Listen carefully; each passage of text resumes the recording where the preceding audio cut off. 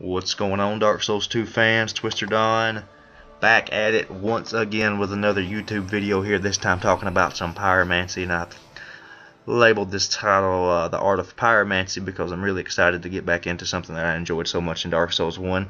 Here you'll see me uh, fighting a few matches here in the Blood Covenant arena, as uh, or not the Blood Covenant arena, the Blue Sentinel arena. Blood Covenant arena, I maxed that out and got great chaos fireball and all that stuff. So that's a good thing.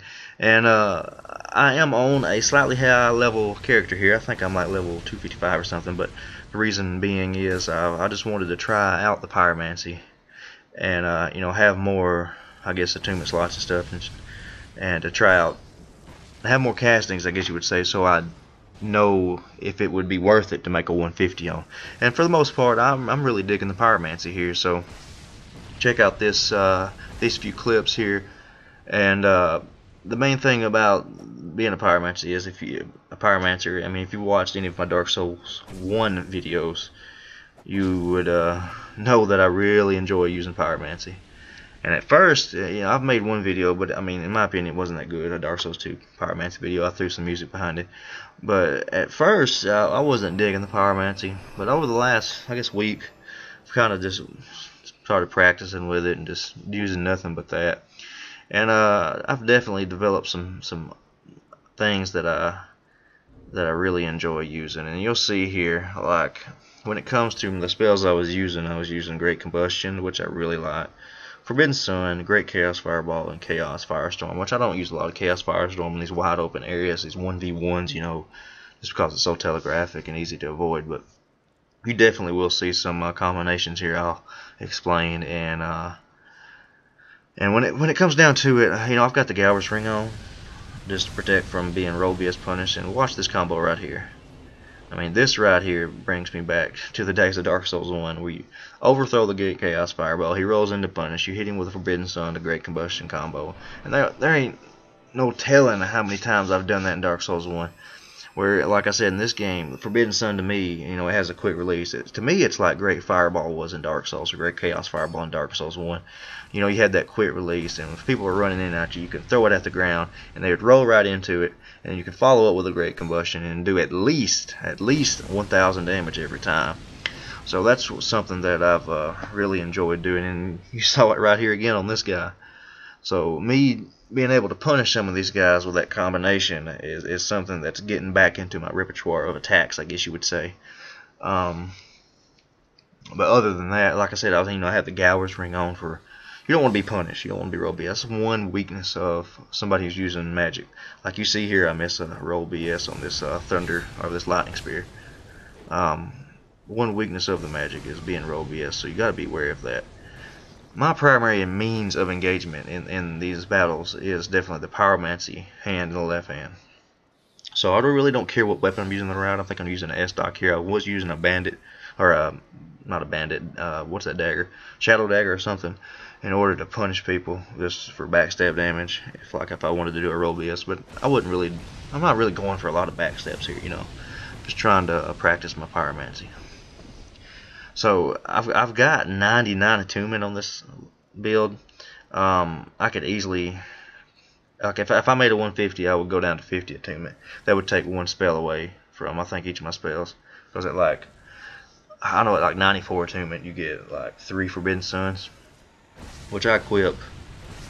I'd probably, I may have to get rid of something. I, I mean, I don't know how my attunement slots would work out, but we would have to definitely see that. I probably may have to wear one of the rings that gives you extra attunement slots, but I definitely want to go with two Forbidden Suns with the Hexer's Hood at uh, 40. See, 43 attunement that would give me six charges, which is more than enough.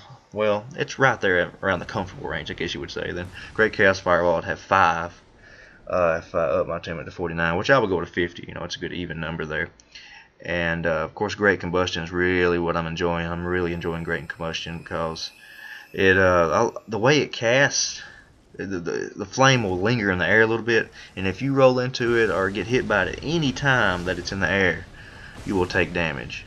So I can throw out a great combustion and, and it stuns really good. Like I can hit people most times with two great combustions before they can roll away So if I can manage to hit somebody with Forbidden Sun to Great Combustion to Great Combustion, or even Forbidden Sun to Great Combustion to them roll away to me catch backstab, there's just a lot of different stuff I want to practice with. And um, so when it comes to Great Chaos Fireball, let me tell you, uh, I mean that's a pain in the butt kind of uh, spell to get, and it probably ain't worth all the kills you have to get, unless you want to go. I mean, if you're in a new game, I think it's plus plus. You can buy the you can buy the spell, but anyways, it's I have hit people with this spell with upwards to 18, 1900 damage before. It's definitely powerful. And Forbidden Sun used to be a lot more powerful. But I think they nerfed it a little bit, which is which is okay. I'm telling Forbidden Sun is really easy to avoid. So is Great Chaos Fireball, but it's it's about like what I'm going for. I'm going for using their aggressive, I guess, nature to punish them. And in some cases I get it, in some cases I don't. It just, I mean, it's going to take more practice, and I know that. So, like, it seems like this guy I'm fighting here has. he was, uh, I was only doing like 300 something on Great Combustion. There I did 713, so I don't know if there's any kind of counter damage going on right there, or what it is. But like when somebody rolls into you, I seem to do a pretty good solid 700 and something on most occasions. And that's a chunk of that's a chunk of life. You know, you're doing 700 with one L1 attack or one R1 attack. I mean, that's most more than most weapons. So I've been having really good success using the Pyromancer, and uh, you gotta watch out for stuff like that. They'll throw in the stuff the wrong direction. So, like I said, it really doesn't matter what weapon you have in the right hand. I mean, honestly, if I really wanted to if I really wanted to uh, use a good weapon, I'd probably have the Syan's Halberd on. Just because there's some of these guys that are kind of aggravating. If they're really dodgy, I guess maybe they have high agility or whatever. And then having that extra melee will uh, will definitely help. But I'm not worried about that right now. I want to get a lot of practice in, you know, a lot of reps in with the pyromancy, and then I'll go with what weapon, what weapon I will choose to supplement the pyromancy. Because I don't know you know, when it comes to me focusing on optimizing the build, I don't know. You know, I don't know what's more useful. Is you know, when you get into this range, should I hit you with a great combustion or should I hit you with a Syan's Halberd? You know, right now I would say I would hit you with a Syan's Halberd. But if you look at a stun like that right there, you get 1280 damage in two seconds. I mean, that's a little better than what the Syan's Halberd can provide.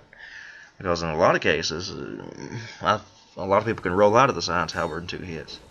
There's some people you'll stun three or four times, but then you know the way your stamina works, it's like I said, it's it's something you'll have to think about and something that I want to practice more with my pyromancy before I, I choose a weapon that uh, complements it accordingly, I guess you would say.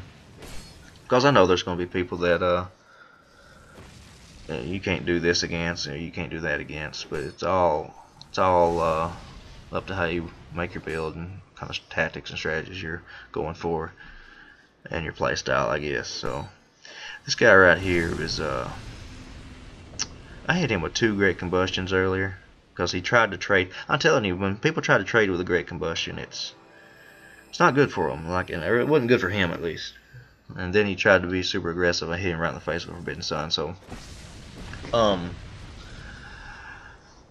uh, I'll tell you one thing that uh, I'm thinking about is like when when I played Dark Souls one, you know, I had I had a, a certain amount of spells that I used for the pyromancy. It usually was I had Great Combustion slash Black Flame or whatever, and then I had Great Fireball, Great Chaos Fireball, then Fire Tempest. So I had about four at all times. You know, I usually run with 19 attunement, no more than uh, no more than 19 attunement usually. And in the in the later stages of PvP, when it when it got into the later stages, you know, I would use a little Fire Surge for for a more, uh, I guess, uh, serious, serious deals, quote unquote, almost serious. But um, yeah, in most cases, in most cases, I knew I had the dexterity down to, you know, be able to swap between those four spells whenever I wanted to, and whenever on instinct whenever my opponent would uh, either roll to me, roll away. And on that game, you had the ability to unlock and throw your fireballs manually, which was handy. And I wish you could do that on this game. I, have, I haven't really practiced a lot with that. I may get into that. Uh, hell, manual aiming, Forbidden Sun or something. I don't know. I don't know. It just seems like the the angles are a little different on this game, but um, I mean, you got a it's a different game engine, and there you see me doing a ton of damage with that Great Chaos Fireball, and that was just a trade. And it seems to be a good trading spell, and it's not something that I go for a lot as trades, but sometimes it happens. So, really, I don't know. What do y'all think about this Pyromancy video? I hope that uh, hope that you liked it. I don't. I find that uh, I tried to hit this guy right here with that combo, but it didn't work out.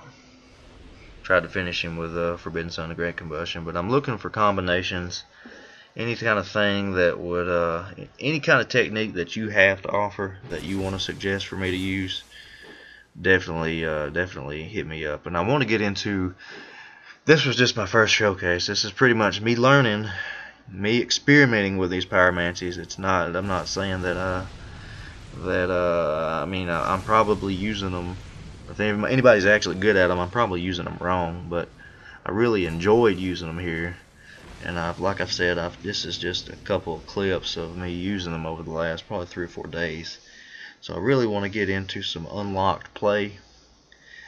And uh, I don't know what weapon I use to be a good unlocked weapon to complement the pyromancy but I really enjoyed the unlocked pyromancy fury sword in Dark Souls 1 and it's not that I'm trying to copy or bring back uh, what I had in Dark Souls 1 that I enjoyed but in the same case it is you know I mean I really want you know uh, your own personal play style and own personal uh, things that you enjoy. And anybody any player's got that you know something that that's uh, they got their own favorite items and weapons and spells and stuff. And and they uh, kind of give themselves a uh, image in that regard.